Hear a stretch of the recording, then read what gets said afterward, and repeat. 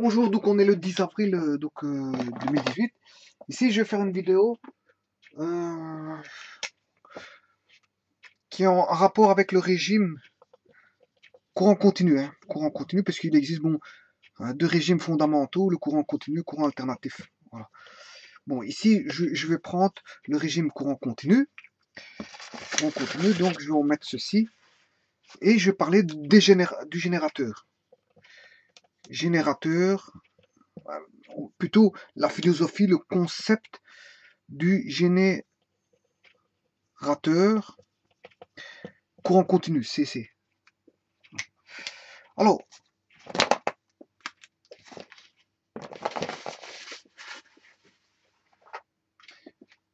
alors ici, si je prends, je vais entamer donc la chose en disant que si je prends un point A et un point B, le point A possède un potentiel VA, hein, avec des charges, hein, des charges électrostatiques.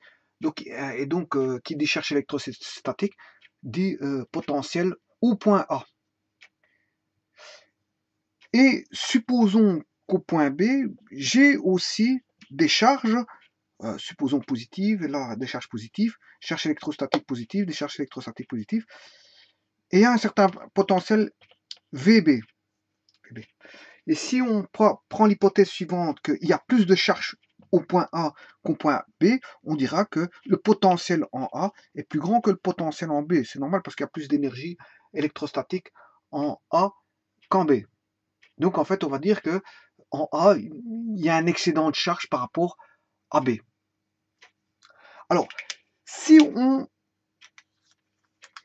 réalise l'expérience suivante, si on relie le point A au point B, bien sûr par un fil conducteur, parce que sinon, euh, euh, je le fais au travers d'un fil conducteur, parce que si je, met, si je mettais un, matériau isolant entre qui toucherait A et B, ben, on n'aurait pas une circulation de charge. Hein. Une circulation de charge ne se font qu'au travers de matériaux conducteurs. Donc, je relie le point A au point B à l'aide, au moyen de, au travers de d'un fil conducteur. Donc, ici, on a mis un fil conducteur. Et là, on aura un déséquilibre. Un déséquilibre qui va se produire. Il y a déjà un déséquilibre, hein, puisqu'ici, j'ai un excédent de charge A au point A par rapport au point B. J'ai un excédent. J'ai un excédent de charge. Et donc, dès le moment où je mets ce fil-là, il va y avoir un déséquilibre qui va ramener vers un état d'équilibre. Ce déséquilibre va faire en sorte que, en fait, entendons-nous bien, hein, j'avais un équilibre de, excédentaire de charge ici, sans le fil, on va dire sans le fil. Sans le fil, on a un équilibre qui est un excédent de charge au point A par rapport au point B. Voilà, on a un équilibre, il n'y il a rien qui, bien qu'on a une, inégalité au niveau des charges, on a un équilibre, il n'y a rien qui se passe. Si je relis le, fil conducteur comme ceci, à ce moment-là, on a un déséquilibre qui va, se réaliser, et toutes les charges, euh, enfin la plupart des charges majoritaires qui sont ici, vont passer par le fil conducteur pour aller euh, se retrouver au point B. Jusqu'à un point où on a un équilibre de potentiel. C'est-à-dire que j'aurai VA égale VB, c'est-à-dire que j'aurai autant de charge plus d'un côté que de charge plus de l'autre. On sera dans un équilibre. On aura un transfert de charge parce qu'on aura, euh, on va dire si je, si je si je dis que ceci, le point A, point B et le fil constituent un système. Voilà, un système. C'est un système. Eh ben, le système va tendre, si on relie par un fil conducteur, ben, le système va tendre vers un équilibre de potentiel. Et quand on, on aura l'équilibre euh, électrostatique, c'est-à-dire qu'on aura autant de charges en A qu'autant de charges en B, à ce moment-là, bon, il n'y aura plus rien qui se passera.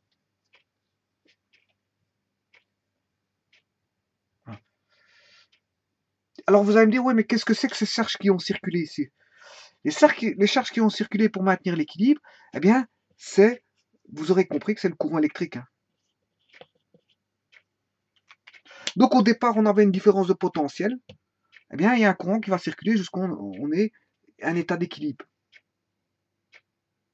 En d'autres termes, en d'autres termes, on avait d'abord VA plus grand que VB, situation d'équilibre numéro 1, avant fil, avant placement du fil, et en situation d'équilibre 2, euh, un nouvel état d'équilibre, on a VA égale VB. Voilà. Et ça, ça montre le placement du fil. Et entre les deux, entre les deux, il y a la situation où les charges euh, vont chercher l'état d'équilibre. Il y a tout un temps qui va se passer entre la situation S1, qui est une situation intermédiaire. Hein. Voilà, SI. Entre S1 et S2, on a une situation intermédiaire. Voilà. Donc, entre S1, situation 1 et la situation 2, on a une situation, bien sûr, euh, intermédiaire, qui est le transfert des charges du potentiel A au potentiel B. donc là, on a eu la création d'un courant à cause de la différence de potentiel. Alors la différence, pourquoi il y a la conséquence euh, d'un courant? Parce qu'on a VA, VA c'est plutôt v, oui, VA est plus grand que VB. Donc le courant va aller dans le sens du potentiel le plus grand vers le potentiel le plus petit. Hein. Les charges vont, auront, tendance à aller donc du potentiel plus grand à remplir le potentiel le plus petit pour avoir l'équilibre, pour maintenir, pour tendre vers un état d'équilibre. Voilà. Bon, alors ici, VA-VB va impliquer, quand VA-VB est positif, ça va induire un courant dans le sens positif. Donc, on dira que ceci, c'est un courant positif. Courant positif, pourquoi? Par convention, il va du potentiel le plus grand vers le potentiel le plus, petit. Oui, mais après, quand on a le nouvel état d'équilibre, au nouvel état d'équilibre, on a VA moins, VB égale 0, c'est-à-dire que VA égale VB. Ça, c'est le nouvel état d'équilibre S2, VA égale VB. Donc à ce moment-là, le courant est nul, il n'y a plus de courant. Donc il n'y a plus de circulation de courant. Donc on a une circulation de courant quand on a un potentiel VA. Euh, euh, un potentiel VA plus grand que VB. En dehors de ça, ben, je veux dire, si VA égale VB, c'est-à-dire que VA moins VB égale 0, ben, on n'a pas de courant. pas de courant.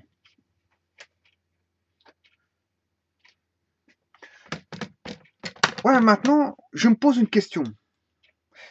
Donc, je suis passé d'un état S1 à un état d'équilibre S2. Maintenant, je veux avoir en permanence un courant je ne veux plus que le courant passe d'un courant positif à un courant nul. Donc, que, le phénomène, si je veux maintenir en permanence, hein, je veux euh, cet état de fait, c'est-à-dire la création d'un courant en permanence, il faut que j'alimente constamment le point A euh, à, un, certain potentiel par rapport au point B. Donc, ce qui veut dire que il faudrait que euh, j'alimente en A euh, j'alimente en A euh, quelque chose, une espèce de pompe, une espèce de pompe qui va ramener des charges en A. Va constamment ramener des charges en A. Et en B, elle va tirer ces charges en fait. Hein. Elle va ramener des charges en A, mais elle va les tirer en B. Donc, on va voir, il faut un circuit fermé, de, une espèce de pompe une pompe électrique. Enfin, ça s'appelle pas une pompe électrique, je vous le dis tout de suite. Justement, le but de la vidéo, c'est justement de voir le générateur. En fait, c'est ce qu'on appelle un générateur électrique. Voilà, donc ici, le fil, la résistance du fil, je vais le symboliser par une résistance. Donc ici, on a la borne A et la borne B. Donc on a dit que pour maintenir un courant euh, permanent, hein, au travers de la résistance R, pour maintenir un courant permanent, qu'est-ce qu'il faut faire? Mais il faut alimenter le point A en charge, en permanence.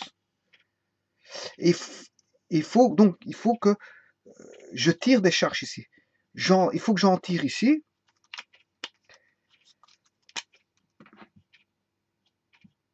Il faut que j'en tire ici. Voilà, là, potentiel VA étant plus grand que le potentiel VB, pour avoir circulation de courant. Et on voit bien que j'ai mis beaucoup plus de charges positives ici que de charges positives ici. Ici, c'est excédentaire en charge via plus grand que VB. Alors, si je maintiens cette situation-là, à ce moment, j'aurai toujours un courant permanent qui va circuler. Euh, et ça, ça se fait par un système, on va dire, de pompe, de pompe à charge. Pompe à charge. Donc, je soutire ici, et je ramène de l'autre côté, je soutire. Et, et qu'est-ce qui fait ça, en fait? C'est ce qu'on appelle un générateur. Voilà. Donc, il faut que j'établisse un circuit fermé. Bien sûr, quand je dis générateur, c'est un générateur de tension. Parce qu'il existe aussi le générateur euh, à courant, de courant, générateur de courant. Mais ici, bon, ce, ce, que je réalise ici, hein, en fermant ceci, voilà, je crée ce qu'on appelle une espèce de pompe, pompage, une pompe euh, à charge. Une pompe à charge, c'est ce qu'on appelle un générateur de tension, tension électrique. Alors, il faut, il faut bien voir ici que je suis en train de voir un générateur de tension euh, continu, donc courant continu, hein, puisqu'en fait on a une polarité plus-moins, hein, euh, et il est continu. Voilà. Donc les grandeurs continues, on les voit tout de suite comment? Bien parce qu'en fait, ce sont des lettres majuscules. Il faut mettre des lettres majuscules. I étant le courant, U étant la différence de potentiel, et E étant la force électromotrice. Donc, quand on voit des lettres majuscules, ben, on est d'office en courant continu. Courant continu, c'est-à-dire qu'on a, toujours deux fils. Hein. On a deux fils. Pourquoi deux fils? Parce qu'en fait, on est, on a un système à deux fils. Il faut bien un aller et un retour. On a un aller et un retour. Donc, il faut bien deux pôles. C'est un système dipolaire. Dipolaire, deux pôles. Plus, moins. Plus moins, c'est deux pôles. Donc il faut toujours un aller et un retour. Si on n'a pas d'aller, si on n'a pas d'aller et qu'on a un retour, il n'y aura, pas, aura pas de circulation de courant. Si on a un aller, pas de retour, si on a un aller, pas de retour, on n'a pas de circulation de courant. Il n'existait pas. Si on a pas d'aller et pas de retour, on n'aura pas de circulation de courant non plus. Si on a un retour mais pas d'aller, pas de circulation de courant, et si on a ceci, on n'a pas de circulation de courant. Donc, on a plusieurs cas de figure où on n'a pas de circulation de courant. Bien sûr, quand je fais ceci, j'aurais pu faire ceci ici, là. Voilà. C'est par rapport à, par rapport à la charge euh, ici qui est une résistance. Si le circuit est coupé en sortie de la, charge, il n'y aura pas de circulation de courant. Hein. Il faut une, une connexion, une connectique entre, bien sûr, la résistance et le générateur. il faut une connectique entre la résistance, un générateur au pôle négatif, mais une, connectique, une connexion entre la résistance et le pôle positif du générateur. Voilà. Et quand on a un circuit fermé, puisque tout est connecté, à ce moment-là, on a établi, je veux dire, euh, euh, on a refermé le générateur sur, euh, sur un circuit. Ici, j'ai mis un fil, hein, c'est juste un fil, c'est la résistance d'un fil. Là, quand on a refermé tout ceci, et que le générateur possède un certain, enfin, débite une force électromotrice E, elle sort une force électromotrice E. La force électromotrice étant donnée en volts, hein, bien sûr, hein, eh bien, c'est, euh, génère voltage en sortie de son générateur, mais d'office, on aura un courant qui va circuler au travers de la charge. Et ici, la charge, c'est juste un bête fil. Hein. J'ai mis juste un bête fil. Voilà. Et ça fait office d'une pompe, une pompe à charge. Hein, voilà, euh, la circulation, je veux dire, des charges hein, du point A. Donc on va maintenir toujours, euh, on va maintenir toujours un potentiel VA toujours plus grand que le potentiel VB au travers d'un générateur. Et donc fatalement, dès qu'on a un circuit fermé, on aura l'apparition d'un courant électrique euh, permanent.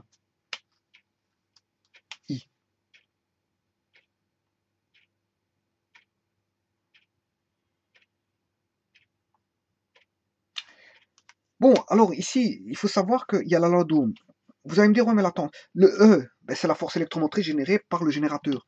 Bon, ça peut être beaucoup de choses, un générateur continu, ça peut être des batteries, hein, ça peut être, euh, je veux euh, hmm, un moteur à courant, enfin, un générateur à, courant continu, hein, ça peut être une dynamo, ce qu'on appelle une dynamo, hein, qui va fournir, je veux une force électromotrice continue, ça peut être voilà, des piles, euh, des piles, ça peut être hmm, des accumulateurs, ça peut être, euh, enfin, c'est tout ce qui va donner du courant continu.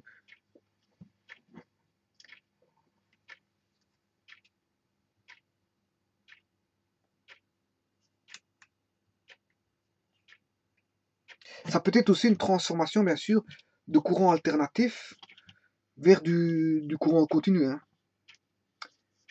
Voilà. Ça peut être une transformation. La source ici, elle est alternative, mais on peut la transformer en continu. Comment? Par un système à l'aide de redresseurs, euh, voilà. Enfin, plutôt, voilà, je veux dire, euh, ici je suis en pur, pur continu, je m'excuse. Je ne veux pas parler de redresseur ou quoi au caisse ici parce que c'est pas le but, mais euh, disons que principalement ça va être des, batteries, des batteries et des, comment on appelle ça, de,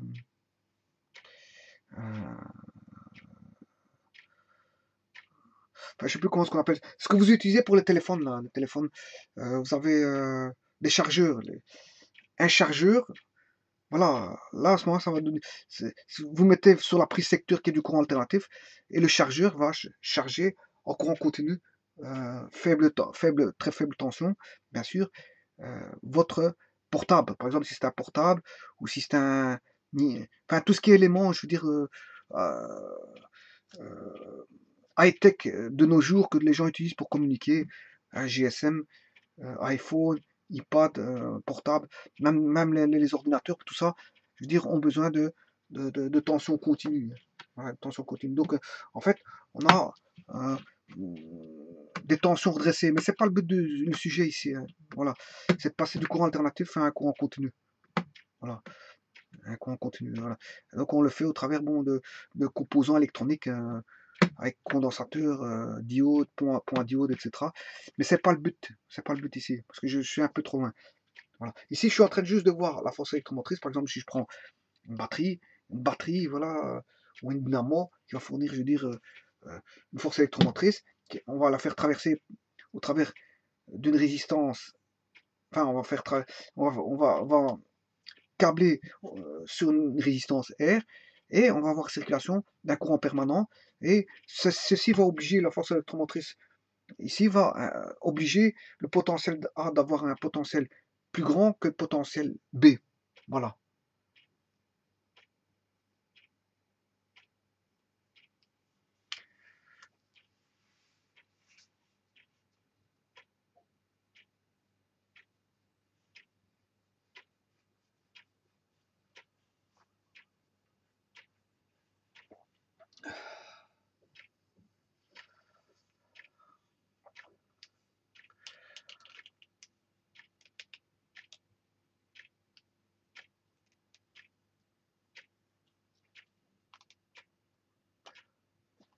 Bon, donc ici, en faisant ceci, oui, ce que je voulais dire tout à l'heure, c'est euh, la tension là, elle voudra quoi? Ben, La tension, comme on a un courant de passage au travers de la résistance, ben, on aura la création d'une différence de potentiel U, U, euh, U. Bien sûr, vous aurez compris que U c'est VA moins VB. Hein. Différence de potentiel, c'est VA moins VB. Et normalement, le potentiel, la convention générateur, j'espère que je ne me trompe pas, la convention générateur, c'est comme ceci. Voilà. Donc, euh,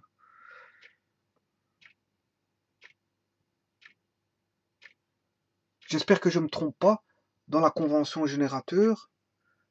Euh,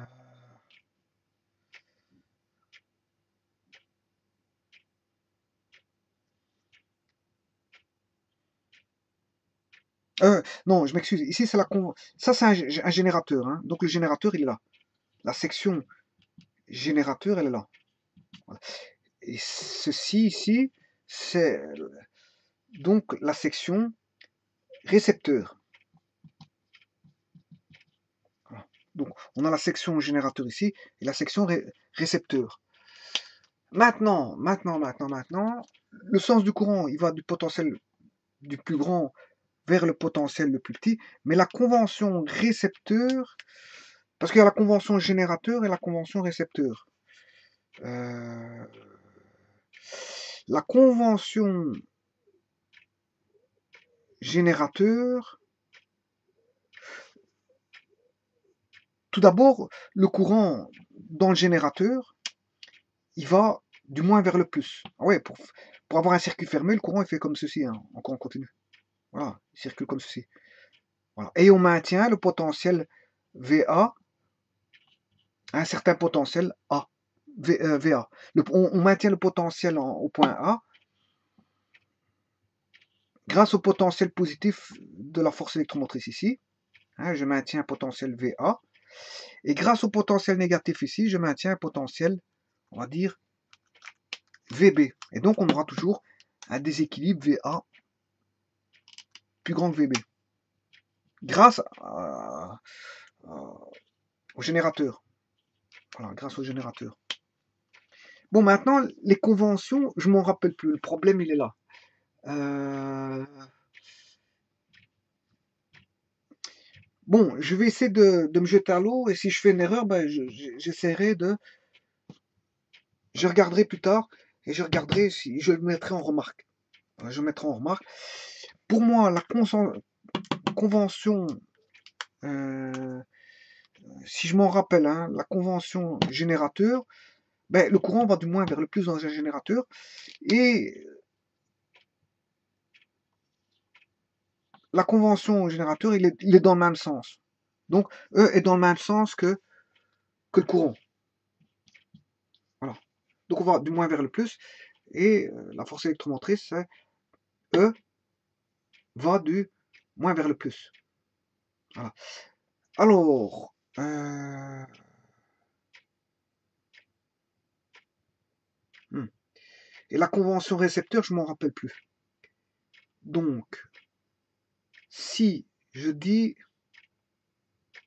si je dis VA-VB, est-ce que c'est pas une flèche comme ceci?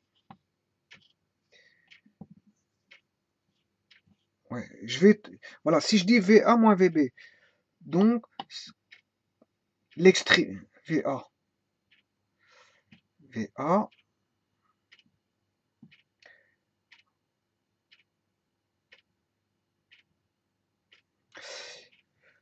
Voilà, je vais donner une petite théorie sur. Je vais, en fait, je vais, euh, comment est-ce qu'on appelle ça? M'avancer, m'avancer, tout en me rappelant plus des conventions générateurs-récepteurs. Mais s'il fallait, je veux dire, euh, euh, si j'ai mauvais ici, hein, si j'ai mauvais au niveau des conventions, j'espère avoir eu, bon dans mes conventions. Si j'ai eu mauvais, je le ferai, je ferai une remarque en référence dans les dans les remarques. Voilà. Dans les remarques. Donc pour moi là, si je m'en rappelle, parce que ça date d'il y a très longtemps, la convention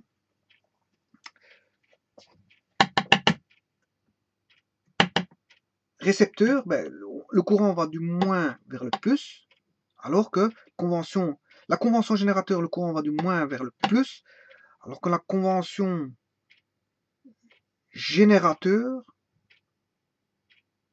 euh, récepteur, pardon, va du plus vers le moins. Le courant, bon, je répète, hein, j'espère que j'ai bon, hein, j'espère. Bon, le courant va du moins au plus au niveau de la convention générateur et il va donc du moins au plus. Le courant va du moins au plus pour la convention générateur, mais du plus vers le moins pour la convention récepteur. Donc, le courant va dans ce sens-là, là, du plus vers le moins. Voilà. Alors maintenant, la convention générateur pour les, forces électromotrices ou les tensions, moi, pour ici, pour moi, j'espère ne pas me tromper, mais la convention générateur, générateur, euh, la flèche est sur le plus, alors que la croix est sur le moins. Donc, donc je fais la même chose pour la convention récepteur au niveau tension, différence de potentiel. La croix est sur le moins et le plus est sur la flèche. Donc un petit peu comme, euh, le générateur. Ça ne change pas ça. Au niveau des conventions tension ou force électromotrice, ça ne change pas. Elles sont les mêmes pour euh, les générateurs et le récepteur. C'est uniquement au niveau des courants que ça change. Au niveau de la convention générateur-récepteur courant, là, c'est pas la même chose. Le courant va du plus vers le moins pour euh, la convention récepteur et il va du moins vers le plus pour la convention euh, générateur. Voilà. et sinon, pour les différences de potentiel, les forces électromotrices, ben, la flèche c'est le plus et le, la croix c'est le, le moins. Voilà. J'espère de, ne pas m'avoir trompé. Donc ici, qu'est-ce qu'on peut dire? On peut dire que donc je maintiens une différence de potentiel U constante, parce que si VA, si je maintiens VA, VA, un potentiel constant. Si je maintiens VB, un potentiel constant, bien sûr je maintiens VA grâce à un potentiel constant grâce au générateur qui va, qui va amener des charges pour essayer d'amener le point A au potentiel VA qui est celui de la, du générateur. Hein. Alors, VA est constant, Maintenant, grâce au générateur, je ramène un potentiel au point B, je veux dire constant, mais qui est plus petit que, A, potentiel VB plus petit que A, donc VA plus grand que VB. Si, si VB est plus petit que VA, puisque en fait c'est la borne négative, il est plus petit, donc VA est plus grand que VB, puisque c'est la borne positive. La borne positive est toujours plus grande que la, le potentiel, la borne positive est toujours plus grand que la potentiel la borne négative. Donc, donc si je fais VA je le rends constant. VB, je le rends constant, mais VA moins VB, eh ben, c'est constant. Et si VA moins VB est constant, R fois I est constant. Mais comme R est constant, dans ce cas-ci, si je si je, je prends l'hypothèse que R est constant, ben, fatalement, on retrouve un courant constant. Voilà. Je m'excuse. Donc en fait, grâce à un générateur, je maintiens une différence de potentiel constante avec un courant constant en permanence.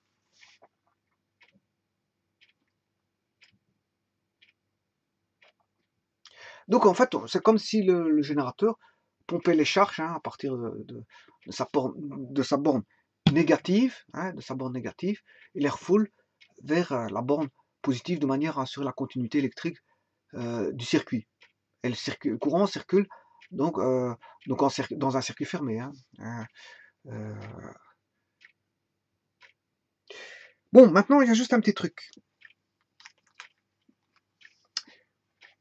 Ouais, mais vous allez me dire, ouais, mais si je câble ici, j'ai une résistance électrique aussi, et ça va modifier le circuit, j'aurai la résistance là, plus la résistance du câblage. Oui, vous avez raison. Bon, pour essayer de rendre négligeable le, câblage, eh bien, on va mettre du gros fil. Voilà. On va mettre du gros fil. Pourquoi?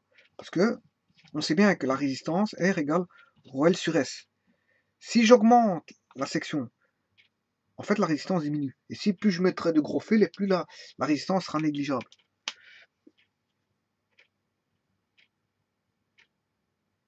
Bien sûr, si la résistance diminue, ça veut dire que le courant va passer, va très bien passer. Le but, c'est pas, c'est d'éviter de faire un obstacle via les fils au courant. Hein.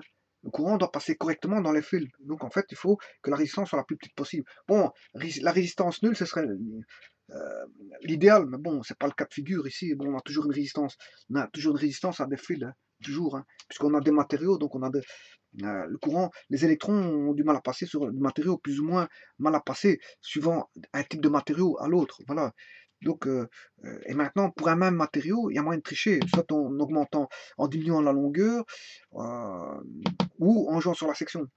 Pour un même matériau, pour un rond, constant, eh bien, on peut jouer soit sur la, longueur ou la section.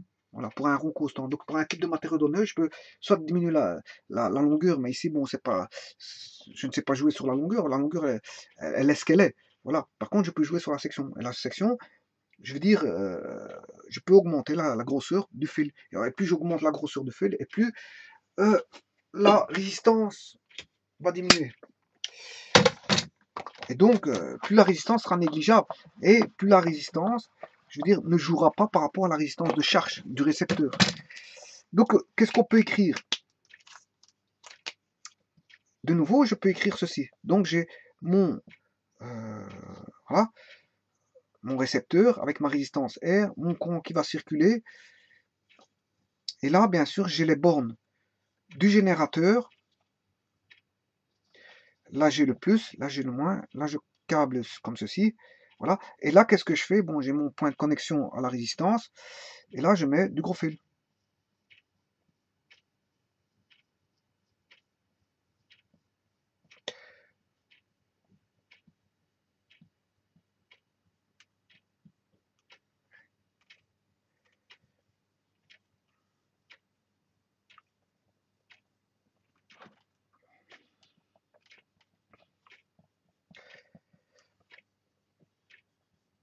Ouais, en, réalité, il faut faire très attention si vous mettez des batteries, par exemple. on met du gros fil, oui. Mais il faut faire attention à l'oxydation aussi. Hein. C'est l'oxydation, je veux dire, est un frein au passage du courant aussi. Hein. Donc, euh, euh, il faut enlever l'oxydation pour avoir une bonne circulation de courant. Voilà, et là, j'ai mis une grosse section. Au plus et au moins. Et donc le courant va passer comme ceci, puisqu'on est en circuit fermé, au travers de la résistance. Et là, on a le point A et le point B. Et là, on a la borne positive du générateur qui va fournir une force électromotrice E. Voilà. Et j'espère que je ne me suis pas trompé dans les conventions. Euh, de toute façon, je le dirai en message, j'irai vérifier, je le dirai. Et là, on a la tension, voilà, euh, UAB. Voilà, UAB.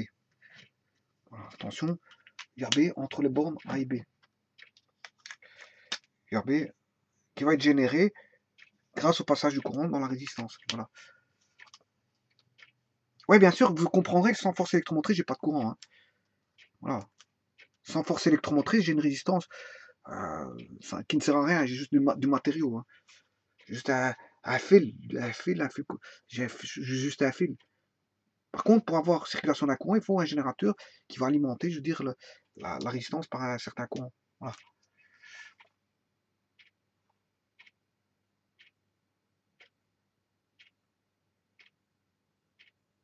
Donc on a dit que VA moins VB, puisque le potentiel positif est, plus grand en A, VA moins VB égale R fois I. Voilà. Donc que vaut le courant? Si je veux trouver le courant, mais le courant c'est VA moins VB, le tout sur R. Voilà que vaut le courant. Ah, si on connaît voilà, la force électromotrice qui vaut UAB, hein, UAB égale à, la force électromotrice, voilà, eh bien, on aura euh, UAB, VAB, et en fait, VA moins VB, le courant, c'est UAB, c'est la tension bande AB, le tout sur R.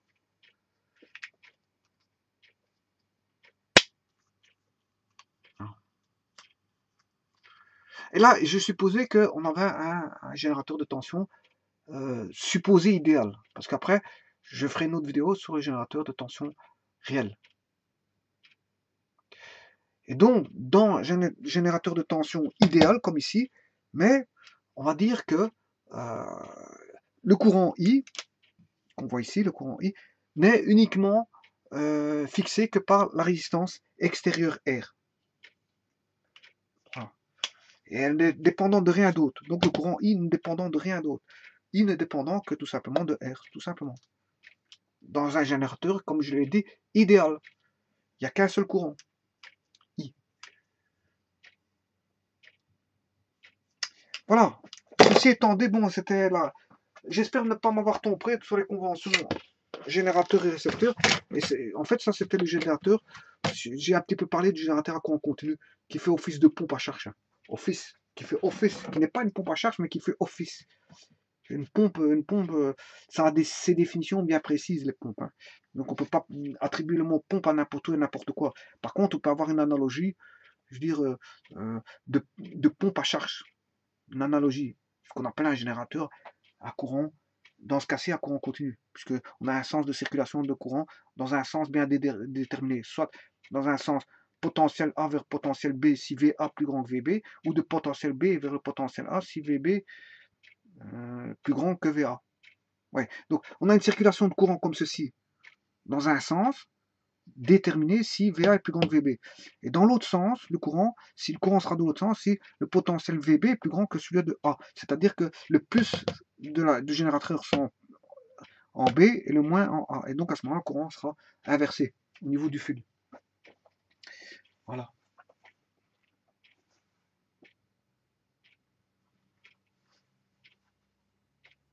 Et qu'on utilise des grandes lettres. V, v ça veut dire potentiel. Hein. V, c'est potentiel au point, potentiel d'un point. Et U, c'est la différence de potentiel. Voilà.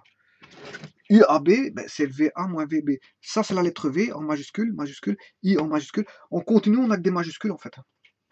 On n'a que des majuscules. Bon, R, R, c'est un, je veux dire, comment une caractéristique, euh, je veux dire, euh, c'est une résistance, hein, que ce soit en courant continu ou en alternatif, le R, sera toujours une majuscule. Voilà.